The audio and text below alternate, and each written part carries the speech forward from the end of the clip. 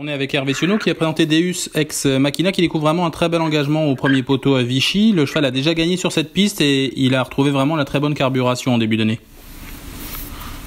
Oui, oui, les réglages sont plus précis qu'ils étaient. Le cheval, il, il, rattrape un peu le temps perdu parce qu'il avait fait voir des, choses intéressantes dans sa carrière, puis il a eu un bon passage, euh, bon passage ici. Bon, j'espère que que le, le break qu'on a, qu'on a subi ne va pas l'avoir euh, le travail, je trouve ça convenable. Convenable, c'est peut-être pas suffisamment pour profiter de ce bel engagement aussi Ça vous inquiète un peu? Comment j'ai pas compris. Ça vous inquiète un peu cette absence et le fait de l'avoir arrêté? Bah, Physiquement, pas enfin, c'est un cheval voilà, un petit peu, un cheval un peu qui était, qui était délicat, qui, qui reste un petit peu tout de même, mais on est plus, on est plus sûr de, de nous quand on vient de, est sur un parcours euh, où ça s'est bien passé, où le cheval s'est bien reporté.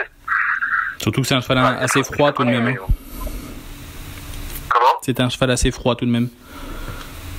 Assez froid? Oui. Ouais, euh, ouais, pas tant que ça, non, non.